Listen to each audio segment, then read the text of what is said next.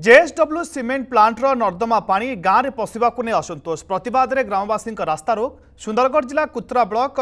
मुंडा ठारे JSW cement plant परिसर बाहू मैला पा सीधासलख गाँव में पशुचे यार प्रतवाद में ग्रामवासी रास्ता अवरोध कर